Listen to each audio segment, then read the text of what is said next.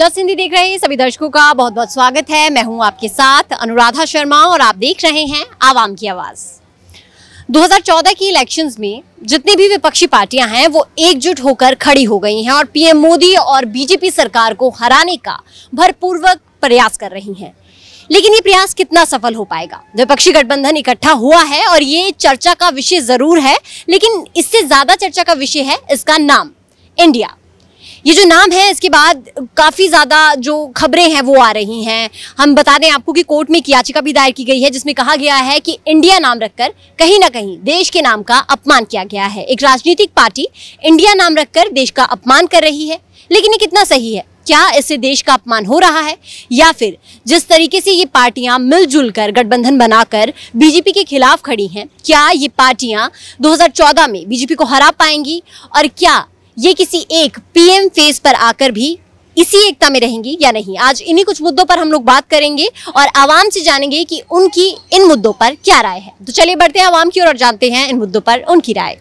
Ma'am name basically मेरे को तो ये लग रहा है कि दोनों पार्टीज़ बेसिकली पॉलिटिक्स ही कर रही है इस पे ऊपर। इंडिया में खासकर ऐसा बोला जा रहा है कि एक देशभक्ति की लहर चल रही है। तो आई थिंक कांग्रेस भी उसी मोड में उसी लहर में बोल रहे हैं कि तैरने की कोशिश कर रही है बेसिकली तो ये तो बिल्कुल गलत बात है एक कंट्री के नाम को ਉਸੇ में यूज़ कर लेना ਪਾਰਟੀ ਕੀ ਅਲਾਈਅੰਸ में ਇਹ ਤਾਂ ਗਲਤ ਹੈ ਕਿ ਕਿਤੇ ਨਾ ਕਿਤੇ ਇੰਡੀਆ ਨਾਮ ਦੇ ਨਾਲ ਵਿਪਕਸ਼ੀ ਦਲ ਨੂੰ ਕੁਝ ਨਾ ਕੁਝ ਬੈਨੀਫਿਟ ਹੋ ਸਕਦਾ ਹੈ So uh, they all have come up with a new name, and India it's like a good name. क्योंकि इंडिया तो सब ये भारत इंडिया भारतीय जनता पार्टी नाम तो उसमें भी आता है इंडिया मेरे को नहीं लगता इतनी प्रॉब्लम होनी चाहिए तो आज बात हो रही है इंडिया के बारे में, यानी कि विपक्षी जो गठबंधन है, जो शायद 2014 में मिलकर पीएम मोदी को हराने का दावा कर रही है, उनकी बात हो रही है। और इस नाम पर भी बवाल है और इस टीम पर भी बवाल है तो यही जानेंगे कि क्या लगता है कि क्या इंडिया रखने से, क्या सच में इसका भारत देश का अपमान हो रहा है या फिर ये नाम इतनी बड़ी बात नहीं है जिसे बनाया जा रहा है। मैम नेम बेसिकली मेरे को तो ये लग रहा है कि दोनों पार्टीज़ बेसिकली पॉलिटिक्स ही कर रही है इस पे ऊपर। तो it's all about politics at the end her party चाहेगी कि इस टाइम पे आप देखोगे तो इंडिया में खासकर ऐसा बोला जा रहा है कि एक देशभक्ति की लहर चल रही है। तो आई थिंक कांग्रेस भी उसी मोड में, उसी लहर में बोल रहे हैं कि तैरने की कोशिश कर रही है बेसिकली तो वो नेम टारगेटिंग ये चलती रहती है। इनफैक्ट कल मैं, वो, अमित शाह जी का वो भाषण भी देख रहा था। तो उन्होंने भी कहा था कि जिस कंपनी का दिवालिया निकल गया होता है, उसको अपना नाम चेंज करना पड़ता है।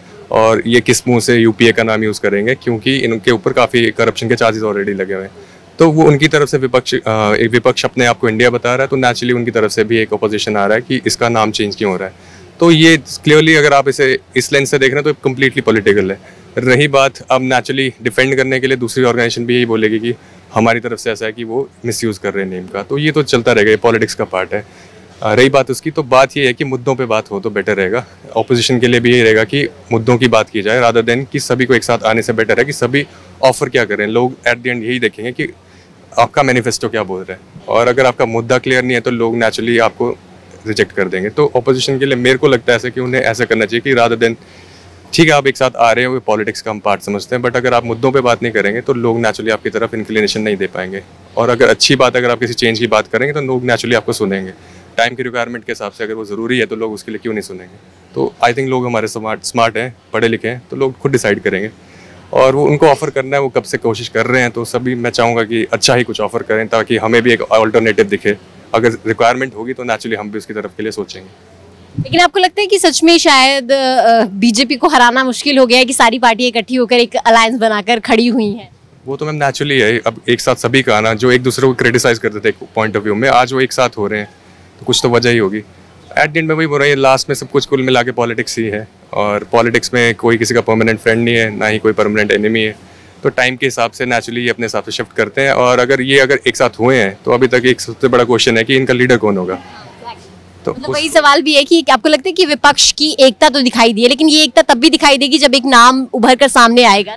क्योंकि अभी तक सुनने में आ रहा था कि ममता बनर्जी और केजरीवाल ये सभी अभी भी कॉन्फ्लिक्ट में है कि फाइनलाइज इनमें लीडर कौन होगा। अभी राहुल गांधी जी को लेकर भी कोई कंफर्म नहीं दे रहा कि वही हमारे इसके लीडर बनेंगे इंडिया के लीडर तो अभी टाइम है देखते हैं फिर टाइम क्या आता है क्या ऑफ़र होता है इस हिसाब से देखते हैं आगे।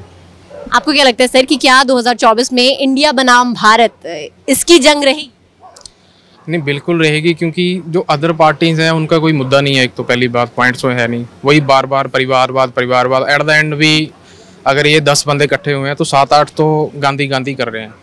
एक दो हैं, नीतीश कुमार हैं, बाकी ममता जी हैं। वो करते हैं कि ठीक है, हमारा बड़ा भारी है बट ऐसी बात है नहीं। तो वही है, इनका अब इंडिया भी ये यूज़ कर रहे हैं, ये गलत है। तो उसको क्रिटिसाइज कर रहे हैं, मणिपुर का मुद्दा लेके बैठे हुए हैं। लोकसभा में कोई वो नहीं हो रही डिस्कशन नहीं हो रही, इतने बिल्स पड़े हैं, कोई साइबर सिक्योरिटी चल रहा है, उसके चक्कर में कितने नुकसान हो रहे हैं। तो इनको कोई कंस्ट्रक्टिव डिस्कशंस के लिए कोई अच्छी चीज़ नहीं है कि इंडिया को ऐसे बदनाम करना। और उसके बाद ऐसे ऐसे कमेंट कर रहे हैं लोकसभा में कल राहुल गांधी ने इतनी मतलब अच्छी बातें नहीं कही कि भारत माता की मौत होगी कोई अच्छी बातें थोड़ी है करने के लिए।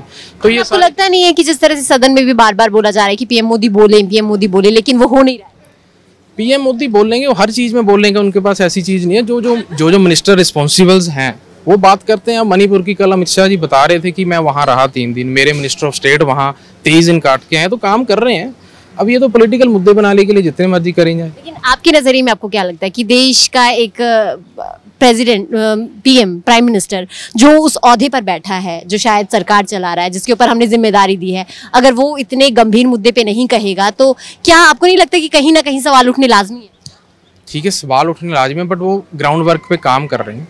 एक बार स्ट्रॉन्ग उससे बोलेंगे ऐसे उठ के बोल देंगे जैसे बाकी बोल रहे हैं वो फ़ायदा नहीं है। तो ग्राउंड लेवल पे वो सिचुएशन समझेंगे संभालेंगे उसी हिसाब से एक्ट करेंगे। बाकी वो कह रहे हैं कि सिचुएशन संभल गई है तो शायद संभल गई होगी अभी। आपको क्या लगता है संभली है सिचुएशन हमें अब यहाँ बैठ के क्या कैसे हम हम जज नहीं कर सकते ना। ग्राउंड लेवल रियलिटी क्या है वो तो एन जा रहे हैं ये मिनिस्टर्स जा रहे हैं। ये इन्हीं को पता तो ये कह रहे हैं रिपोर्ट्स ठीक आ रही हैं तो अभी आ रही हैं कुछ यहाँ भी हैं हमारे नॉर्थ ईस्ट के बच्चे तो वो कह रहे हैं कि ये तो काफ़ी टाइम से चल रहा है। मेथी का और कुकीज़ का ये तो चलता ही आ रहा है। पहले भी हुई हैं मोते सब कुछ चल रहा है बट एक नए तरीके से शायद ये कुछ करें देखो रिजोल्व कर दें। लेकिन आपको लगता है ये जो ये जंग अभी, चलिए मुद्दों की, असल मुद्दों को तो छोड़ें, लेकिन अभी जो जंग नाम की है बेशक, इंडिया बनाम भारत या इंडिया बनाम बीजेपी तो क्या आपको लगता है कि ये सही है इस वक्त पे? ये तो बिल्कुल गलत है, क्योंकि मुद्दों की बात करो वुमेन एम्पावरमेंट की बात करते हैं, उनकी तो बात ही नहीं करते। तो ये तो बिल्कुल गलत बात है, एक कंट्री के नाम को उसी में यूज़ कर लेना पार्टी की अलायंस में, ये तो गलत है। आपके नज़रिए से मतलब गलत है कि एक पार्टी के नाम को आप देश का नाम नहीं नहीं ये तो गलत है। ये तो गलत है। लेकिन आपको लगता है कि क्या जो विपक्षी दल इकट्ठा हुए हैं वो 2024 में आपके नज़रिए में हरा पाएँगे बीजेपी को या नहीं? देखो ऐसे तो हम यहाँ बैठ के क्या गेस करेंगे बट टफ है। टफ तो है देखो। बाकी देखेंगे। इतनी सारी पार्टीज़ और एक पीएम मोदी अकेले इसको वो उनका खुद ही कोई स्ट्रेटेजी नहीं ना होगी एक इधर को चलेगा एक इधर को चलेगा वो आपस में ही नहीं चल रहे। वो बा एक पोस्टर भी लीक हुआ था कि बारह बंदे हैं हर महीने में एक प्राइम मिनिस्टर रहेगा तो कैसे काम चलेगा? वो कहेगा मैं बनना है मैं बनेगा। तो महीना महीना बांटेंगे तो क्या ही करेंगे? अपना अपना इकट्ठा करेंगे तो दैट इज़ नॉट गुड ये आखिरी सवाल आपसे जैसे मैंने इनसे कहा था कि विपक्षी एकता अभी तो दिखाई दे रही है लेकिन वो जब नाम सामने आने की बारी आएगी तब यही विपक्षी एकता इकट्ठी दिखाई देगी? नहीं होगा नहीं होगा। टफ है। अगर अभी हो भी जाएँगे वोटें डलवा लेंगे बाद में भी इनका यही सीन रहेगा।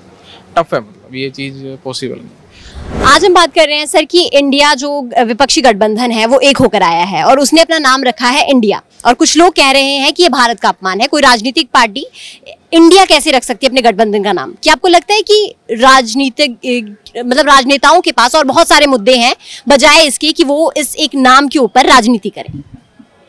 ਹਾਂਜੀ ਮੈਮ ਮੇਰੇ ਹਿਸਾਬ ਦੇ ਨਾਲ ਜਿਵੇਂ ਇੰਡੀਆ ਅਲਾਈਅੰਸ ਆ, ਇਹ ਬੇਸਿਕਲੀ ਇੰਡੀਆ ਦੇ ਲੋਕ ਆਪਾਂ ਨੂੰ ਪਤਾ ਵਾ, ਜਿਵੇਂ ਕਿ ਜਿੰਨੇ ਵੀ ਧਰਮਾਂ ਦੇ ਆ, ਬਹੁਤ ਇਮੋਸ਼ਨਸ ਵਾਲੇ ਨੇ।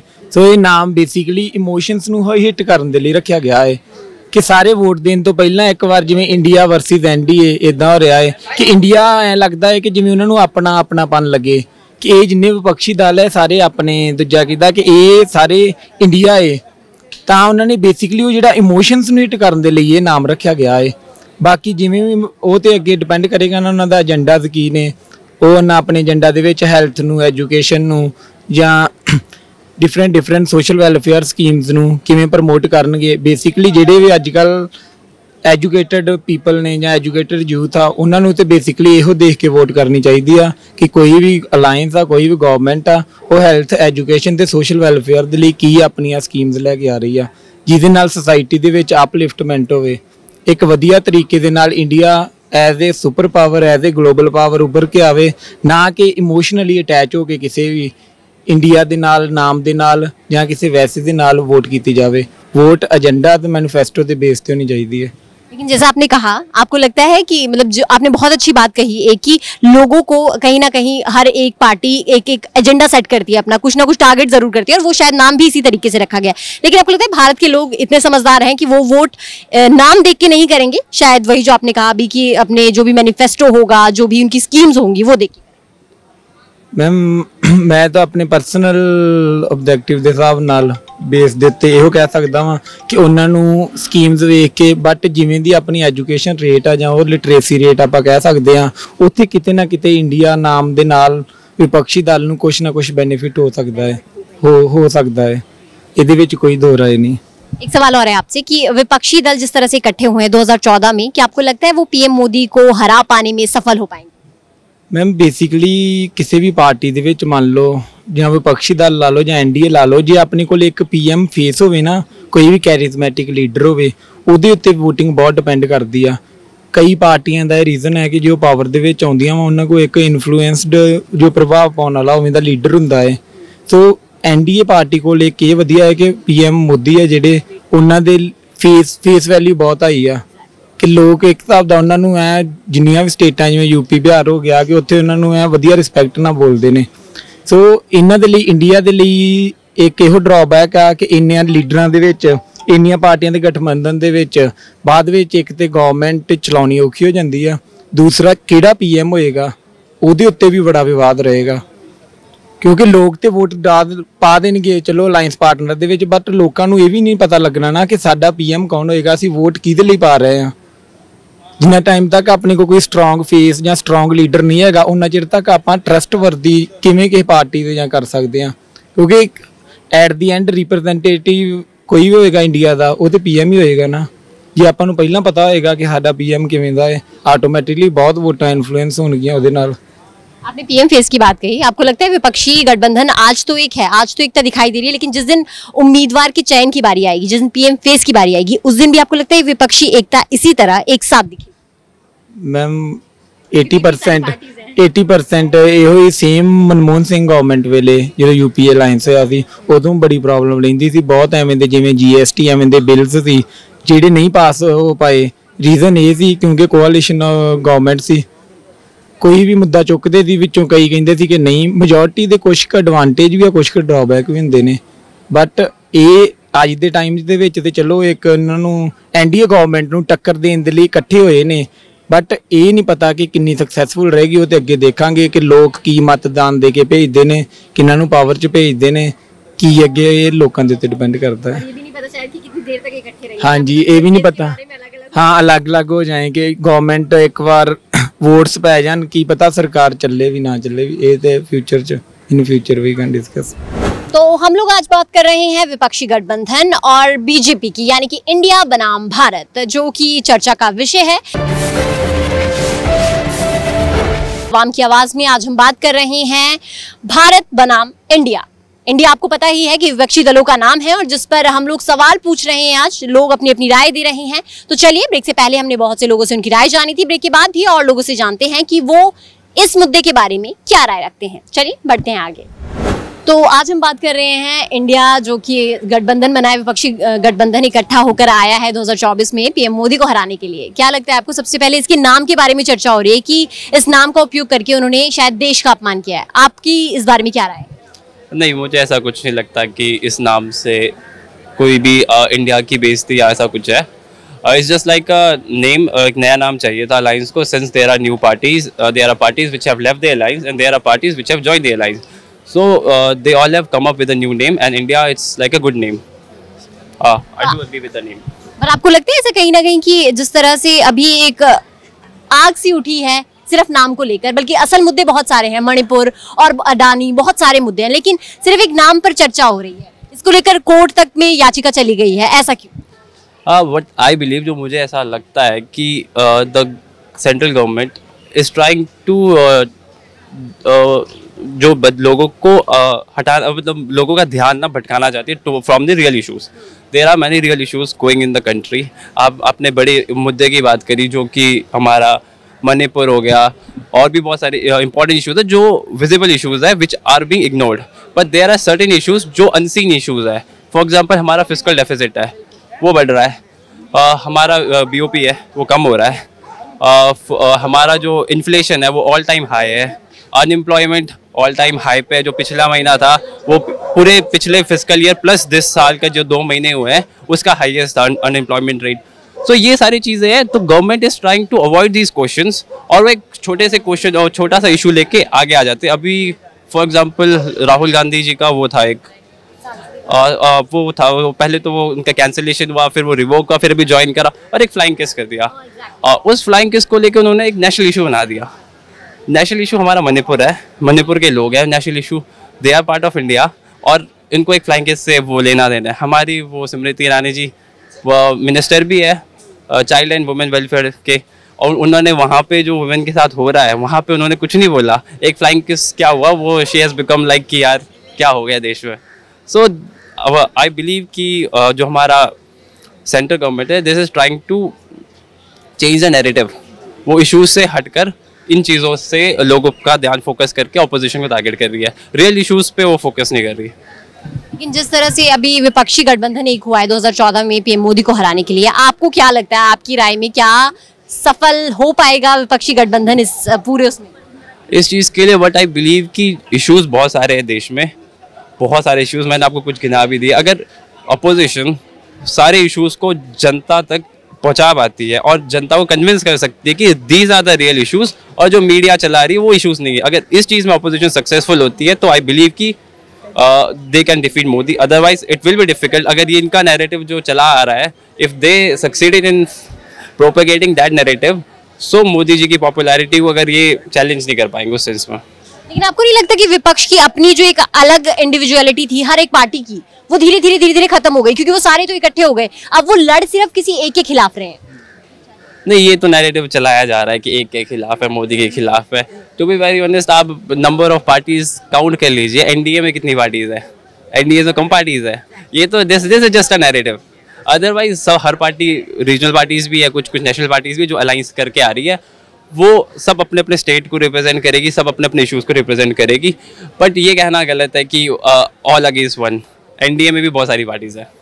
आपने कहा कि ये कहना गलत है कि सब किसी एक के खिलाफ खड़े हैं और सब एक हैं। मान लीजिए विपक्ष गठबंधन एक है लेकिन आपको लगता है ये विपक्षी एकता तब भी दिखाई देगी जब किसी एक उम्मीदवार का नाम आगे बढ़कर आएगा पीएम की सीट के लिए? आपको लगता है यही एकता दिखाई देगी नहीं आई बिलीव कि ये एकता मिलजुल कर अगर अ, ये मल्टीपल फेसेस पे चल सकती है। हमने 2004 का यूपीए का अलाइंस देखा था। देवर कांग्रेस के पास बहुत कम सीटें थी। देवर पार्टीज़ जिन्होंने मिलकर अलायंस करा। तो if they want to make government and alliance को स्ट्रॉन्ग रख सकते हैं तो मल्टीपल फेसेस या फिर यूनिटी फॉर द अलायंस के हिसाब से चल सकते हैं। एक फेस ज़रूरी नहीं अभी वट आई बिलीव आपको क्या लगता है सर कि क्या जो इंडिया नाम की वही अभी जंग जारी है बनाम इंडिया बनाम भारत? आपको लगता है यही जंग 2014 में देखने को मिलेगी? भारत मतलब बीजेपी और इंडिया मतलब अ, बाकी इसमें मेनली तो यही जंग देखने को मिलेगी क्योंकि पॉलिटिक्स के आज की डेट में जो है मेन मुद्दों से जैसे आप बता रहे थे मेन मुद्दों के ऊपर राजनीति कम हो रही है और ये नाम के लिए इंडिया इंडिया नाम हमारा ये अलाइंस हुआ है तो उसको इतना वो नहीं करना चाहिए। अगर है तो इंडिया की कुछ ना कुछ उनके मुद्दे देखने चाहिए, किस मुद्दे पे वो बात कर रहे हैं। नाम को लेके किसी को डोमिनेट नहीं करना चाहिए, मेरा मानना है। जिस तरह से कोर्ट में भी एक याचिका गई है कि ये भारत का अपमान है, कोई भी राजनीतिक पार्टी इस तरीके से नाम नहीं रख सकती है भारत का तो आपको लगता है कि क्या इस मुद्दों पर सुनवाई करना ज़्यादा ज़रूरी है? बाकी अभी वो हम कहें कि जम्मू कश्मीर का मुद्दा है, उस पर सुनवाइयाँ हो रही है, वो ज़्यादा सही। कोर्ट का जो फैसला होगा, कोर्ट फिर अलग एक हमारा वो है, कोर्ट जैसा बोलेगा वैसा हमको फॉलो करना पड़ेगा। कोर्ट के मुद्दे पे हम कुछ नहीं बोल सकते। अगर उन कोर्ट को लगेगा हमारी जुडिशरी को लगेगा कि इंडिया नाम से प्रॉब्लम हो रही है लोगों को तो कोर्ट वैसा फैसला देगा। अगर नहीं हो रही होगी तो उसके साथ भी है। लेकिन मेरा पर्सनल मानना ये है कि नाम के साथ इतनी दिक्कत नहीं होनी चाहिए।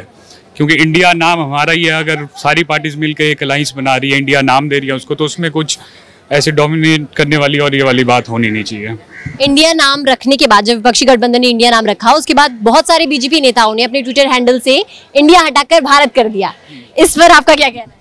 तो ये तो मैम वो अपनी नेशनैलिटी और उस पर सब खेलते हैं तो ये तो फिर हम ज़्यादा वो है कि पढ़े लिखे हमको पता चल जाता है क्यों उठाए। इंडिया प्रॉब्लम अब इंडिया उन्होंने ऐसा प्रोजेक्ट कर दिया कि जो अलाइंस है वही इंडिया है, बाकी लोग इंडिया नहीं है, क्योंकि इंडिया तो सभी है, भारत, इंडिया, भारतीय जनता पार्टी, नाम तो उसमें भी आता है, इंडिया।